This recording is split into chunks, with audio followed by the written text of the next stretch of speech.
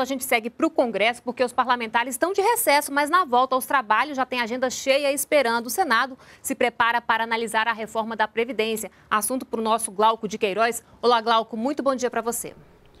Olá, muito bom dia para você também, Carla. Bom dia a todos.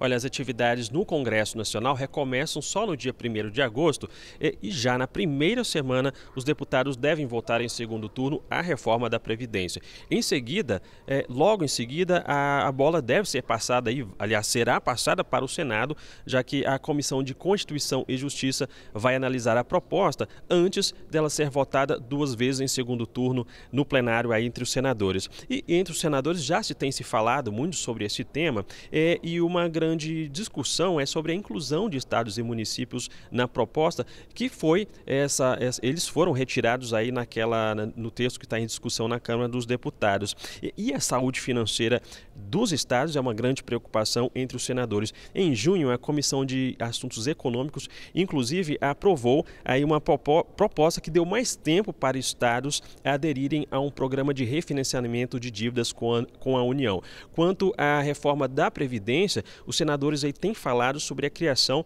de uma nova proposta de emenda à Constituição para incluir estados e municípios. A ideia é que essa PEC tramite separadamente em relação a que está sendo discutida atualmente entre os deputados. É com você, Carla.